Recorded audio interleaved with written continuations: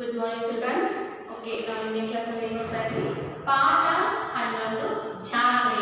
ಹೌದಾ? ಈ ಒಂದು ಪಾಠದಲ್ಲಿ ಬರುವಂತಹ ಪದಗಳ ಅರ್ಥವನ್ನು ನಾವು, ಅರ್ಥದ ವಿವರಣೆಯನ್ನು ನಾವು ಹಿಂದಿನ ಕ್ಲಾಸಲ್ಲಿ ತಿಳಿದುಕೊಂಡ್ವಿ. ಹೌದಾ? ಹಾಗಾದ್ರೆ ಇವತ್ತಿನ ತರಗತಿಯಲ್ಲಿ ನಾವು ಈ ಒಂದು ಪಾಠ ಹನ್ನೊಂದು ಜಾತ್ರೆ ಈ ಪಾಠದ ವಿವರಣೆಯನ್ನು ನಾವು ಇವತ್ತಿನ ತರಗತಿಯಲ್ಲಿ ನೋಡೋಣ. ಓಕೆ ಮೊದಲಿಗೆ ಹೆಡ್ಲೈನ್ ಪಾಠ ಹನ್ನೊಂದು ಜಾತ್ರೆ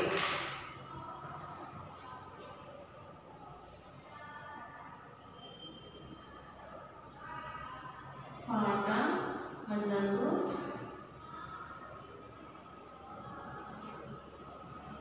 ಜಾತ್ರೆ ಹೌದಾ ಹಾಗಾದ್ರೆ ಇವತ್ತಿನ ತರಗತಿಯಲ್ಲಿ ನಾವು ಈ ಒಂದು ಪಾಠದ ವಿವರಣೆಯನ್ನ ನೋಡೋಣ ಓಕೆ ಓಪನ್ ಮಾಡ್ರಿ ಪೇಜ್ ನಂಬರ್ ಸೆವೆಂಟಿ ಸೆವೆನ್ ನಿಮ್ಮ ಟೆಕ್ಸ್ಟ್ ಬುಕ್ ಅನ್ನ ಪಠ್ಯ ಪುಸ್ತಕವನ್ನ ಓಪನ್ ಮಾಡಿ page number seventy seven okay ಹಾಗಾದ್ರೆ ಈ ಒಂದು ಪಾಠವನ್ನ ಒಂದೊಂದು ಪ್ಯಾರನ್ನ ಓದ್ತಾ ನಾನು ಪಾಠವನ್ನ ವಿವರಣೆ ಮಾಡ್ತಾ ಹೋಗ್ತಾ ಇದ್ದೀನಿ ಗಮನ ಬಿಟ್ಟು ನೋಡಿ ಮೊದಲಿಗೆ ಹೆಡ್ಲೈನ್ ಪಾಠ ಹನ್ನೊಂದು ಜಾತ್ರೆ ಹೌದಾ ಎಲ್ಲರೂ ಜಾತ್ರೆಗೆ ಹೋಗಿದ್ರಲ್ಲ ಜಾತ್ರೆ ನೋಡಿದ್ರಲ್ಲ ಏನಿರುತ್ತೆ ಜಾತ್ರೆಯಲ್ಲಿ ಹೌದಾ ಇರುತ್ತೆ, ಬಹಳಷ್ಟು ಜನ ಕೂಡಿರ್ತಾರೆ.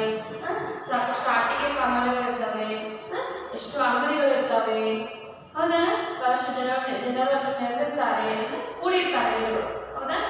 ಎಲ್ಲ ಜನ ಜನರು ಕೂಡಿ ಎಲ್ಲರೂ ದೇವರ ಪೂಜೆನ ಮಾಡ್ತಾ ಇರ್ತಾರೆ.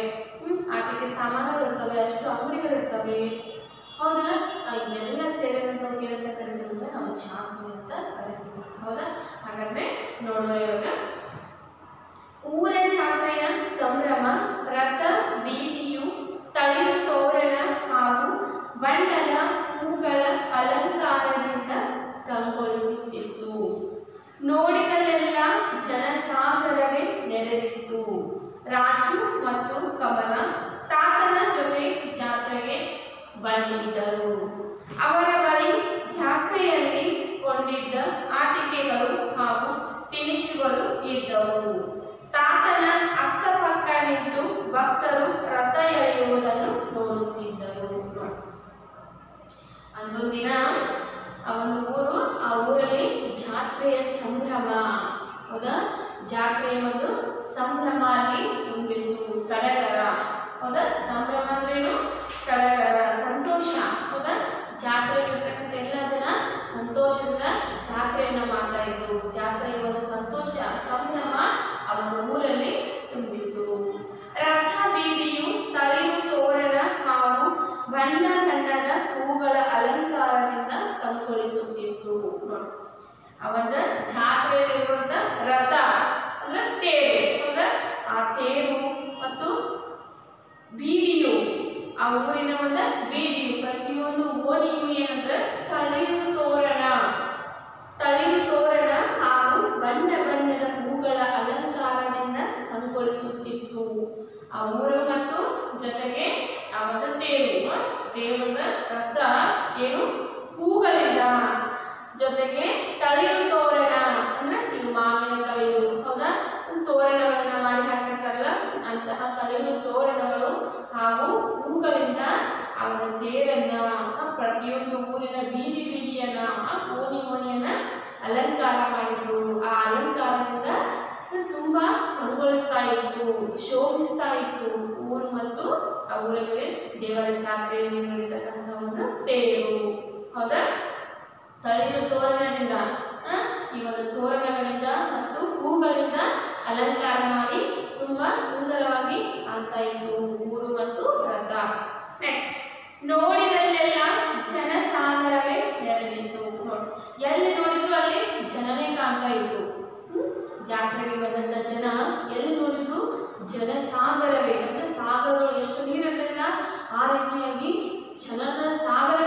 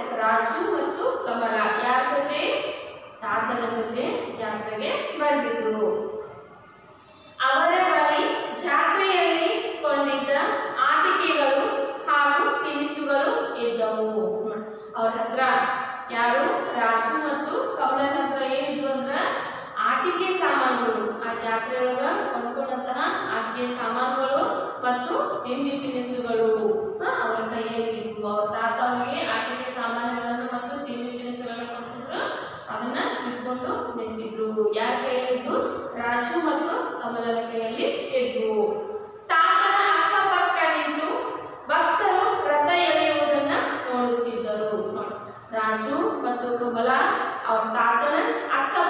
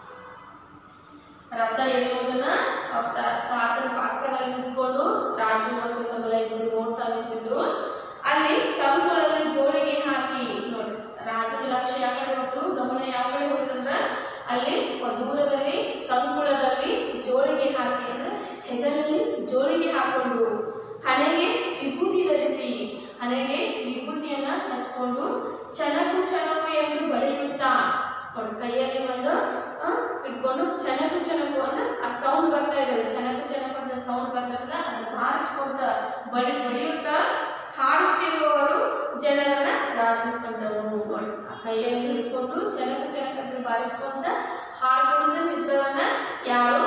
ರಾಜು ನೋಡಿದ. ಏನೇನ್ ಮಾಡಿದವರು ಹೆಗಲಿಗೆ ಒಂದು ಜೋಳಿಗೆಯನ್ನು ಹಾಕೊಂಡಿದ್ರು. ಬಟ್ಟೆಯ ಚೀಲವನ್ನ ಹೌದಾ ಜೋಳಿಗೆ ಹಾಕೊಂಡು ಹಣೆಗೆ ವಿಭೂತಿಯನ್ನ ಹಚ್ಕೊಂಡು ಚೆನ್ನಕು ಚೆನ್ನಕು ಅಂತ ಬಾರಿಸ್ಕೊಂತ ಹಾಡ್ಕೊಂತ ನಿಂತಿದ್ರು. ಅವರನ್ನ ಯಾರು ನೋಡಿದ್ರು? ರಾಜು ನೋಡಿದ.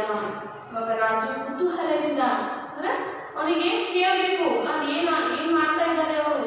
ಆ ಕುತೂಹಲದಿಂದ ರಾಜು ಅಂತ ತಾತನಿಗೆ ಕೇಳ್ತಾನೆ. ತಾತ ತಾತ, ಅವರು ಯಾರು?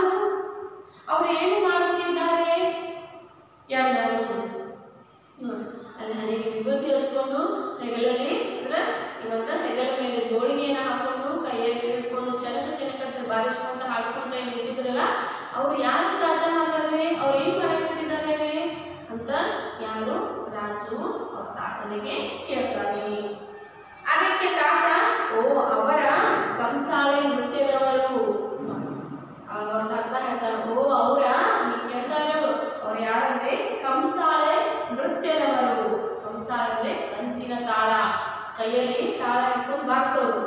ಹೌದಾ? ಅವರಿಗೆ ಕಂಸ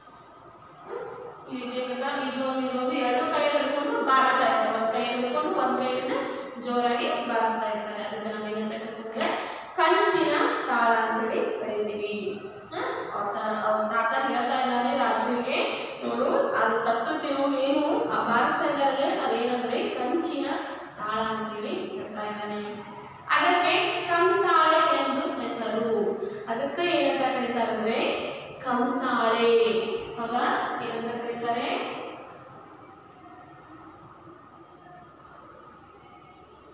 ಕಂಸಾಳೆ ಅಂತ ಕರೀತಾರೆ ಅವನ್ನೆರಡು ಕೈಯಲ್ಲೇನು ತಾಳವನ್ನು ಹಿಡ್ಕೊಂಡು ತಟ್ತಾ ಇರ್ತಾರಲ್ಲ ಬಾರಿಸ್ತಾ ಇರ್ತಾರಲ್ಲ ಅದಕ್ಕೆ ಏನಂತ ಕರೀತಾರೆ ಅಂದ್ರೆ ಕಂಸಾಳೆ ಅಂತ ಹೇಳಿ ಕರೀತಾರೆ ಓಕೆ ನೆಕ್ಸ್ಟ್ ಅದರಲ್ಲಿ ಅಂಗೈಯಗಳ ಚಕ್ರಾಕಾರದ ಬಟ್ಟಲು ಮತ್ತು ಜಾಗಟೆಯಂತಿರುವ ಮಟ್ಟ ಮಟ್ಟಸವಾದ ಮೇಲುತಾಳ ಇದೆ ಅವರು ಬಟ್ಟಲನ್ನು ಎಡಗೈ ಅಂಗೈ ಮೇಲೆ ಇರಿಸಿ ಬಲಗೈ ಮೇಲು ತಾಳದಿಂದ ತಟ್ಟುತ್ತಿದ್ದಾರೆ ಇದರಿಂದ ಮಧುರನಾದ ಬರುತ್ತದೆ ಅವರು ಮಹದೇಶ್ವರನನ್ನು ಕುರಿತು ಹಾಡುತ್ತಾ ಬಾಗಿ ಬಳುಕಿ ಕುಳಿತು ನಿಂತು ಲಯವಾಗಿ ಕಂಸಾಳೆಯನ್ನು ತಟ್ಟುತ್ತಾ ನರ್ತಿಸುತ್ತಿದ್ದಾರೆ ಈಗ ನೋಡು, ಅವರು ಕಂಸಾಳೆಯನ್ನು ಬೀಸುತ್ತಾ ನೃತ್ಯ ಮಾಡುತ್ತಿದ್ದಾರೆ.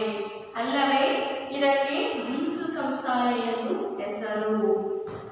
ಕಂಸಾಳೆ ನೃತ್ಯದವರನ್ನು, ನೃತ್ಯವನ್ನು ಈ ರೀತಿ ಜಾತ್ರೆ, ಕಲಾಮೇಳ, ಹಬ್ಬ, ಮೆರವಣಿಗೆ ಮುಂತಾದ ಸಂದರ್ಭಗಳಲ್ಲಿ ಮಾಡುತ್ತಾರೆ. ಚಾಮರಾಜನಗರ, ಮೈಸೂರು, ಮಂಡ್ಯ, ಬೆಂಗಳೂರು ಜಿಲ್ಲೆಗಳಲ್ಲಿ ಈ ಕಲೆ ಹೆಚ್ಚಾಗಿ ಕಂಡುಬರುತ್ತದೆ. ಹೌದಾ. ಕೈಯಲ್ಲಿ ಹಿಡ್ಕೊಂಡು ಎರಡು ತಾಳವನ್ನು ಹಿಡ್ಕೊಂಡು ಬಾರಿಸ್ತಾ ಇರ್ತಾರಲ್ಲ, ಅದಕ್ಕೆ ಏನಂತ ಕರೀತಾರೆ ಅಂದ್ರೆ ಕಂಚಿನ ತಾಳಗಳಿಗೆ ಏನಂತ ಕರೀತಾರೆ ಅಂದ್ರೆ, ಕಂಸಾಳೆ ಅಂತೇಳಿ ಕರೀತಾರೆ. ಎರಡಕ್ಕೂ ಸೇರಿ ಕಂಸಾಳ ಅಂತ ಕರೀತಾರೆ. ಒಂದೊಂದಕ್ಕೆ ಕಂಚಿನ ತಾಳವು. ಹೌದಾ? ಎರಡಕ್ಕೂ ಸೇರಿ ಏನಂತ ಕರೀತಾರೆ? ಕಂಸಾಳೆ ಅಂತ ಕರೀತಾರೆ ಓಕೆ ಅದರಲ್ಲಿ ಅಂಗೈಯಗಳ ಚಕ್ರಾಕಾರದ ಬಟ್ಟಲು ಅದರೊಳಗ ಅಂಗೈಯಗಲದ ಚಕ್ರಾಕಾರದ ಬಟ್ಟಲು. ಅಂದ್ರೆ ಈ ರೀತಿ ಅಂಗೈಯಗಲದ ಚಕ್ರಾಕಾರದ ಬಟ್ಟಲು. ಈ ರೀತಿ ಕೈಯಲ್ಲಿ ಓದುತ್ತಾರ. ಹೌದಾ ಮತ್ತು ಜಾಗಟೆಯಂತಿರುವ ಪಟ್ಟಮಸವಾದ ಮೇಲುತಾಳ ಜಾಗಟೆ ಅಂತಿರುವಂದ್ರೆ ಕಂಸಾಳೆ. ಇನ್ನೊಂದು ಕಂಸಾಳೆ. ಅದ ಜಾಗಟೆ ಅಂತಿರುವ ಒಂದು ಮಟ್ಟಮಸವಾದ ಬರೆಯೋ ಈಸಿ ಆಗುತ್ತೆ ರೋಲ್ ಈಗ ಸುತ್ತಲೂ ಏನಪ್ಪ ಅಂದ್ರೆ ಇದಕ್ಕೆ ಒಂದೇ ಒಲೆ ಅಂತ ಇದಕ್ಕೆ ಸುತ್ತಲೂ ಸಣ್ಣದಾದಂಥ ಒಂದು ರಂಧ್ರ ಇರುತ್ತೆ ಹೌದಾ? ಈ ರೀತಿ ಹೌದಾ? ಇದು ಏನು ಇದು ಕೂಡ ಒಂದು ತಾಳ ಈ ತಾಳವನ್ನ ಈ ಒಂದು ಕೈಯಲ್ಲಿ ಈ ತಾಳನ ಕೈಯಲ್ಲಿ ಕಂಚಿನ ತಾಳನ ಕೈಯಲ್ಲಿ ಹಿಡ್ಕೊಂಡು ಇದರಿಂದ ಹಿಡ್ಕೊಂಡು ಬೀಸಿ ಬಡಿಯೋದು ಇದರಿಂದ ಬಡಿಯೋದಲ್ಲ ಇದರಿಂದ ಬಡಿಯೋದು ಅಂದ್ರೆ ಬಾರಿಸೋದು ಅರ್ಥ ಆಯ್ತಲ್ಲ ನೋಡಿ. ಅಲ್ಲಿ ಅಂಗೈಗಳ ಚಕ್ರಾಕಾರದ್ದು ಅಂದ್ರೆ ರೌಂಡ್ ಚಕ್ರ ಆಕಾರದ ಕೈಯಲ್ಲಿ ಹಿಡ್ಕೊಂಡು ಇನ್ನೊಂದು ಕಂಸಾಳೆಯನ್ನ ಜಾಗಟೆ ಅಂತಿರುವ ಮಟ್ಟ ಮಸವಾದ ಅಂದ್ರೆ ಇನ್ನೊಂದು ಕಂಸಾಳೆಯನ್ನ ತೆಗೆದುಕೊಂಡು ಈ ರೀತಿಯಾಗಿರ್ತಕ್ಕಂಥ ಕಂಸಾಳೆಯನ್ನ ತೆಗೆದುಕೊಂಡು ಅದ್ರ ಮೇಲೆ ಬಾರಿಸುವುದು ಅದೊಂದು ತಾಳ, ಹೌದಾ? ನೆಕ್ಸ್ಟ್ ಅವರು ಬಟ್ಟಲನ್ನು ಎಡಗೈ ಅಂಗೈ ಮೇಲೆ ಇರಿಸಿ ಬಲಗೈ ಮೇಲು ತಾಳದಿಂದ ತಟ್ಟುತ್ತಿದ್ದಾರೆ ಅವ್ರು ಏನ್ ಮಾಡ್ತಾ ಇದ್ದಾರೆ ಜಾಗಟೆ ಅಂತಿರುವ ಅವರು ಬಟ್ಟಲನ್ನ ಎಡಗೈ ಅಂಗೈ ಮೇಲೆ ಅಂದ್ರೆ ಬಟ್ಟಲ ಜೊತೆ ಇರುವಂತಹ ಒಂದು ತಾಳವನ್ನ ಎಡಗೈ ಮೇಲೆ ಇಟ್ಕೊಂಡಾರ ಇನ್ನೊಂದು ಬಲಗೈ ಮೇಲೆ ಹೌದಾ ಮೇಲೆ ಇರಿಸಿ ಬಲಗೈ ಮೇಲು ತಾಳದಿಂದ ಅಂದ್ರೆ ಎಡಗೈ ಮೇಲೆ ಒಂದು ಬಟ್ಟಲ ತರ ಇರುವಂತದ್ದು ಎಡಗೈಯೊಳಗೆ ಇಟ್ಕೊಂಡು ಬಲಗೈಯಲ್ಲಿ ಇರ್ತಕ್ಕಂಥ ಇನ್ನೊಂದು ತಾಳವನ್ನ ಈ ರೀತಿ ಇರ್ತಕ್ಕಂಥ ಇನ್ನೊಂದು ತಾಳವನ್ನ ಈ ರೀತಿಯಾಗಿ ಅದರಿಂದ ಹಿಂಬಾಲಿಸ್ತಾ ಇದ್ದಾರೆ ಅರ್ಥ ಆಯ್ತಲ್ಲ ಎಡಗೈಯಲ್ಲಿ ಬಟ್ಟಲ ಬಟ್ಟಲ ಆಕಾರಕ್ಕೆ ಇರ್ತಕ್ಕಂಥದ್ದು ಎಡಗೈಯಲ್ಲಿ ಇಟ್ಕೊಂಡು ಇನ್ನೊಂದು ಬಲಗೈಯಲ್ಲಿ ಇರ್ತಕ್ಕಂಥ ಒಂದು ಕಂಸಾಳೆ ಅಂದ್ರೆ ಆ ಒಂದು ತಾಳವನ್ನ ಬ ಎಡಗೈ ಮೇಲೆ ಇರ್ತಕ್ಕಂಥ ಬಟ್ಟಲಿಗೆ ಬಾರಿಸ್ತಾ ಇದ್ದಾರೆ ಓಕೆ ನೆಕ್ಸ್ಟ್ ಇದರಿಂದ ಮಧುರನಾದ ಬರುತ್ತದೆ ಇದರಿಂದ ಮಧುರನಾದ ಅಂದ್ರೆ ಇಂಪಾದ ಒಂದು ಧ್ವನಿ. ಈ ಒಂದು ತಾಳವನ್ನ ಬಾರಿಸೋದ್ರಿಂದ ಇಂಪಾದ ಒಂದು ಇಂಪಾದ ಅಂದ್ರೆ ಸುಮಧುರ ಆದಂತ ಒಂದು ಧ್ವನಿ ಬರುತ್ತದೆ ಅಂತೇಳಿ ತಾತ ಹೇಳ್ತಾ ಇದ್ದಾರೆ. ನೆಕ್ಸ್ಟ್ ಅವರು ಮಹದೇಶ್ವರನನ್ನು ಕುರಿತು ಹಾಡುತ್ತಾ, ಬಾಗಿ ಬಳುಕಿ ಕುಳಿತು ನಿಂತು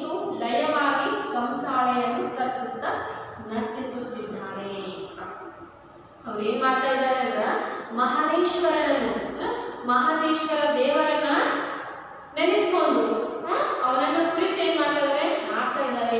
ಯಾವ ರೀತಿಯಾಗಿ ಹಾಡ್ತಾ ಇದ್ದಾರೆ ಅಂದ್ರೆ ಬಾಗಿನ ಒಂದೊಂದು ಭಂಗಿಯಲ್ಲಿ ಅಂದ್ರೆ ಒಂದೊಂದು ರೀತಿಯಲ್ಲಿ ಏನ್ ಮಾಡ್ತಾ ಇದ್ದಾರೆ? ಒಂದೊಂದು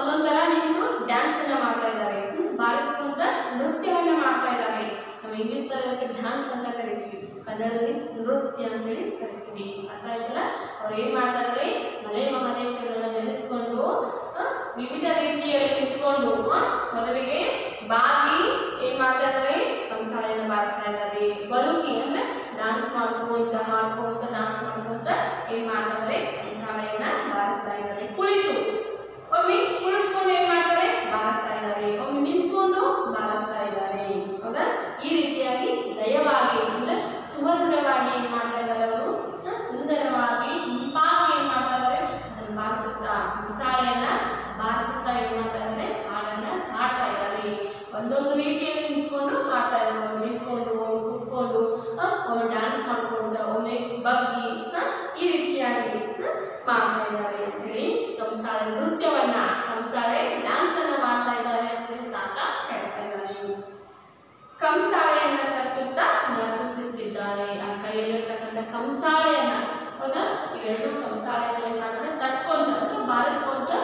ನರ್ತನೆಯನ್ನ ಡ್ಯಾನ್ಸನ್ನು ಮಾಡ್ತಾ ಇದ್ದಾರೆ. ನೆಕ್ಸ್ಟ್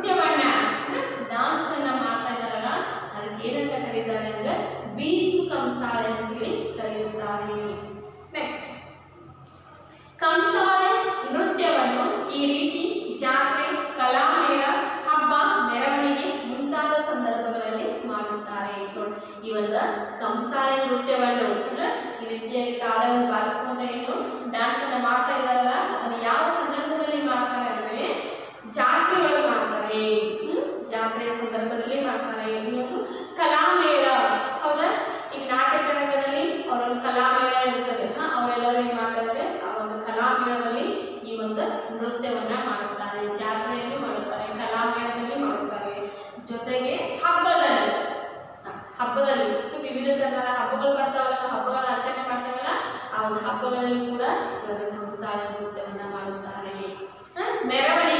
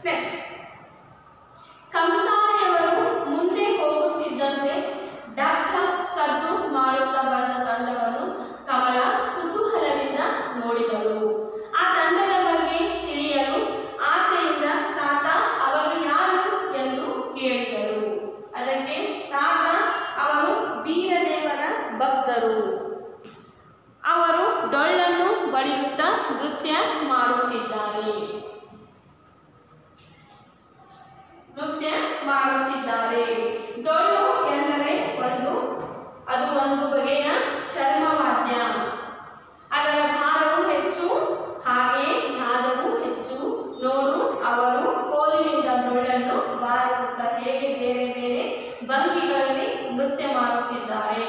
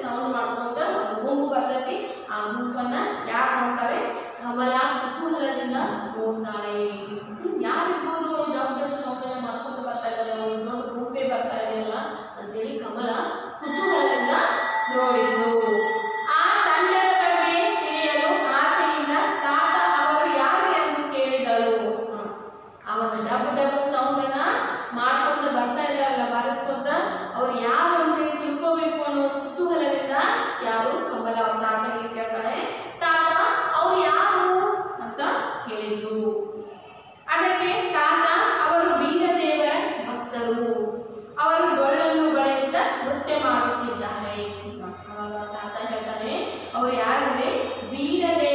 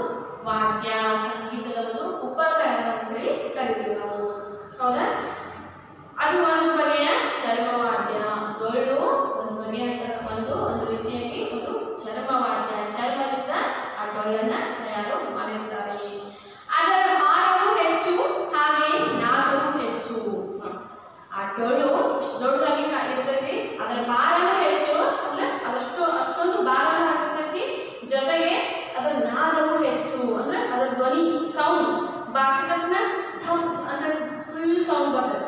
ಜೋರಾಗಿ ಸೌಂಡ್ ಬರ್ತದೆ. ಹೌದಾ? ಅದರ ಧ್ವನಿನೂ ಹೆಚ್ಚು, ಜೊತೆಗೆ ಅದರ ಭಾರವು ಅದು ಅಷ್ಟೊಂದು ಭಾರವಾಗಿ ಕೂಡ ಇರುತ್ತದೆ ಅಂತ ಹೇಳಿ ತಾತ ಹೇಳ್ತಾ ಇದ್ದಾರೆ.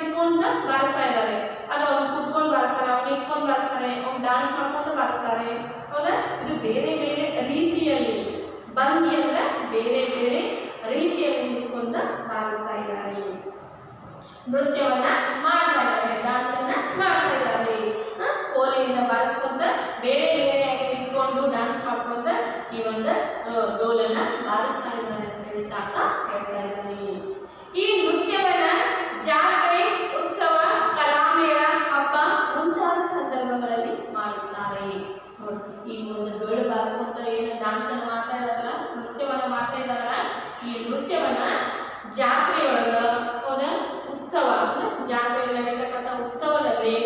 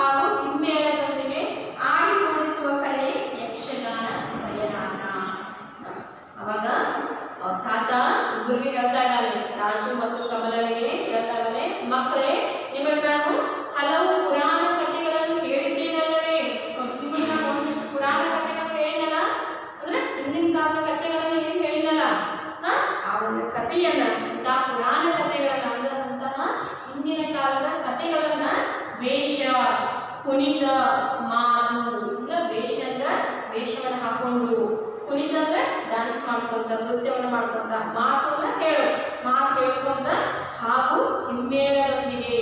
ಅಂದ್ರೆ ಹಿಂದೆ ಕುತ್ಕೊಂಡು ಒಂದು ಹಿಮ್ಮೇಳ ಅಂತೇಳಿ ಬರುತ್ತದೆ. ಆ ಮೇಳದ ಜೊತೆ ಏನ್ ಮಾಡೋದು? ಆಡಿ ತೋರಿಸುವ ಕಲೆ.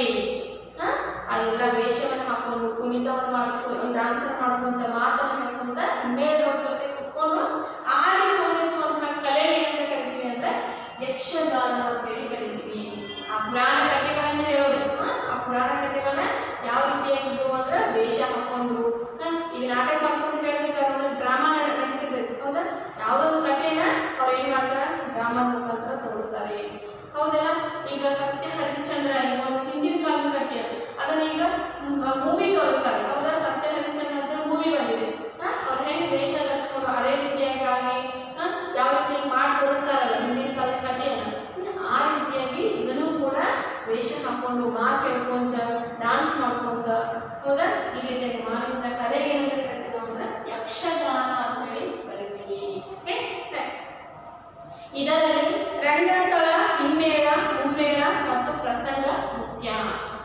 ಇವುಗಳನ್ನ ಈ ಒಂದು ಯಕ್ಷಗಾನವನ್ನ ಮಾಡ್ಬೇಕಂದ್ರೆ ಇದರಲ್ಲಿ ಮುಖ್ಯವಾಗಿ ಏನ್ ಬೇಕಂದ್ರೆ ರಂಗಸ್ಥಳ ಅಂದ್ರೆ ಒಂದು ಪ್ಲೇಸ್ ಬೇಕು. ಹೌದಾ? ಒಂದು ಸ್ಟೇಜ್ ಬೇಕು. ಜೊತೆಗೆ ಹಿಮ್ಮೇಳ ಅಂದ್ರೆ ಹಿಂದೆ ಒಂದು ಇರ್ತಕ್ಕಂಥ, ಹಿಂದೆ ಕುಳಿತುಕೊಂಡು ಅಂದ್ರೆ ಒಂದಷ್ಟು ಅಲ್ಲಿ ಒಂದಷ್ಟು ಜನ ಕೂತಿರ್ತಾರೆ ಹಿಂಗಳು ಅವರಿಗೆ ಹಿಮ್ಮೇಳದ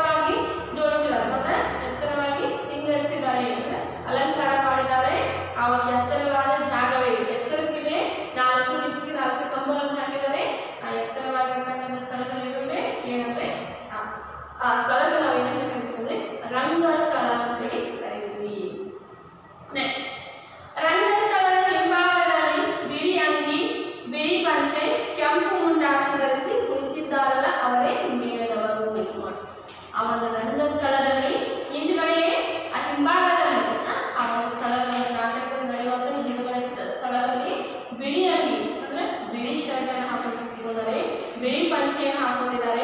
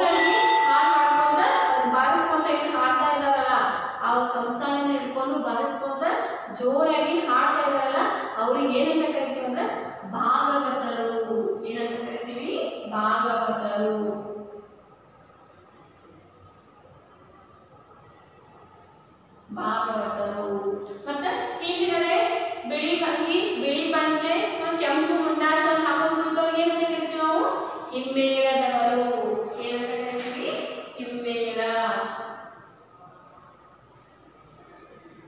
ಹೌದಾ ಹಿಮ್ಮೇಳದವರು ಏನ್ ಹಾಕೊಂಡಿರ್ತಾರೆ ಬಿಳಿ ಪಂಚೆ ಬಿಳಿ ಅಂಗಿ ಕೆಂಪು ತಲೆಗೆ ಕೆಂಪು ಅಂತ ಪೇಟವನ್ನು ಹಾಕೊಂಡು ಕುಳಿತಿರ್ತಾರೆ ಅವರಿಗೆ ಹಿಮ್ಮೇಳದವರು ಅಂತ ಕರಿತೀವಿ ಇನ್ನ ಭಾಗವತರು ಅಂದ್ರೆ ಕಂಸಾಳೆ ಕಂಸಾಳೆ ಕೈಯಲ್ಲಿ ಹಿಡ್ಕೊಂಡು ಬಾರಿಸ್ಕೊಂತಾರೆ ಕಂಸಾಳೆ ಅಂದ್ರೆ ತಾಳವನ್ನ ಹ? ಬಾರಿಸ್ಕೊಂತ ತಾಳ ಬಾರಿಸ್ಕೊಂತ ಹಾಡ ಆಡ್ತಿರ್ತಾರಲ್ಲ ಆ ಒಂದು ತಾಳವನ್ನ ಬಾರಿಸ್ಕೊಂತ ಜೋರಾಗಿ ಹಾಡು ಮಾಡ್ತಾ ಇರ್ತಾರೆ ಹ, ಅಂಥವ್ರಿಗೆ ಏನಂತ ಕರಿತೀವಿ ಅಂದ್ರೆ ಭಾಗವತರು ಅಂತೇಳಿ ಕರಿತೀವಿ ನೆಕ್ಸ್ಟ್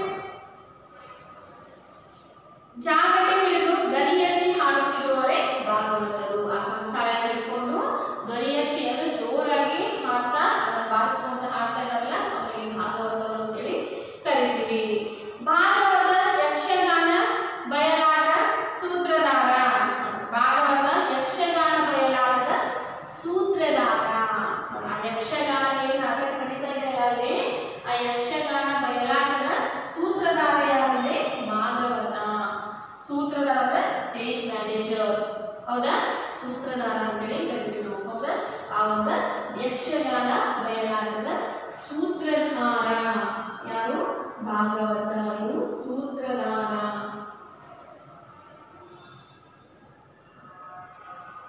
ಇವನ್ನ ಯಕ್ಷಗಾನ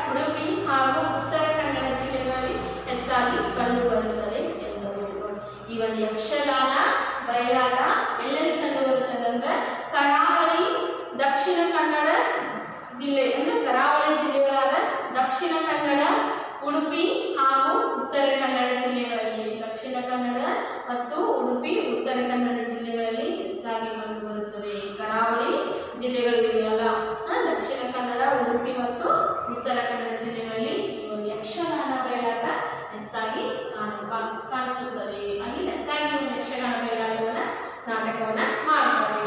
ನೆಕ್ಸ್ಟ್ ಅಷ್ಟರಲ್ಲಿ ಭಾಗವತರು ಸ್ತುತಿ ಹಾಡು ಆರಂಭಿಸಿದರು. ತಾತ, ಮಕ್ಕಳೇ, ನೋಡಿ ಪ್ರಸಂಗ ಆರಂಭವಾಯಿತು. ಈ ದಿನದ ಪ್ರಸಂಗ ಶ್ರೀದೇವಿ ಮಹಾತ್ಮೆ ಎಂದರು. ಎಲ್ಲರೂ ಪ್ರಸಂಗ ನೋಡುತ್ತಾ ಸಂತೋಷಪಟ್ಟರು.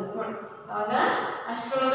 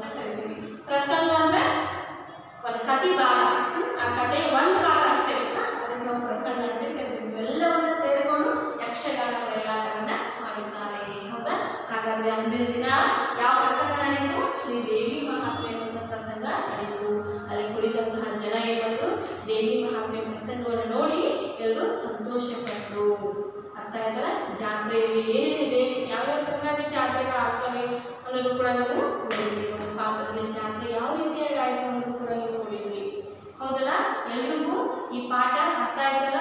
ಇಲ್ಲಿಗೆ ಒಂದು ಪಾಠದ ವಿವರಣೆ ಮುಗೀತು. ಓಕೆ ಮಕ್ಕಳೇ, ಎಲ್ರಿಗೂ ನಿಮ್ಗೆ ಈ ಒಂದು ಪಾಠದ ವಿವರಣೆ ಜಾತ್ರೆ ನಿಮ್ಗೆ ಎಲ್ಲರಿಗೂ ಗೊತ್ತಿರ್ತದೆ ನೀವೆಲ್ಲ ಕಡೆ ಜಾತ್ರೆನೇ ಮಾಡಿರ್ತೀರಿ. ಹಾಗಾದ್ರೆ ಈ ಒಂದು ಜಾತ್ರೆ ಒಂದು ಪಾಠದ ಜಾತ್ರೆ ಒಂದು ಪಾಠದಲ್ಲಿ, ಜಾತ್ರೆ ಅನ್ನೋ ಪಾಠದಲ್ಲಿ ಯಾವ ರೀತಿ ವಿಶೇಷವಾಗಿ ಜಾತ್ರೆಯನ್ನು ಮಾಡಿದ್ರು? ಮಕ್ಕಳು ಯಾರ್ಯಾರು? ರಾಜು ಮತ್ತು ಕಮಲ ಜೊತೆ ಜಾತ್ರೆ ಹೋಗ್ತಾರೆ. ಅಲ್ಲಿ ಏನೇನೆಲ್ಲ ನೋಡಿದ್ರು ಅನ್ನೋದನ್ನ ನೀವೆಲ್ಲ ತಿಳ್ಕೊಂಡ್ರಿ ಹೌದಲ್ಲ? ಓಕೆ ಎಲ್ಲರೂ ಎಲ್ಲರಿಗೂ ಈ ಒಂದು ಜಾತ್ರೆ ಪಾಠದ ವಿವರಣೆ ಅರ್ಥ ಆಗಿದೆ ಅಂತ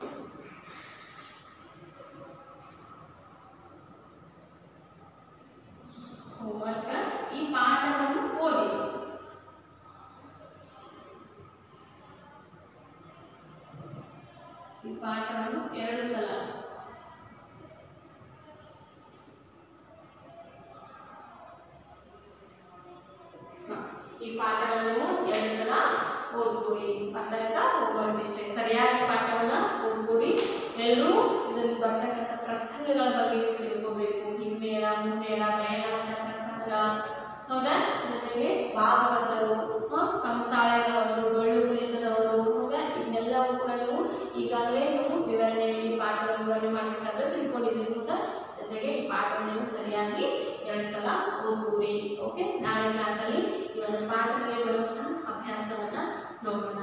ಓಕೆ? Thank you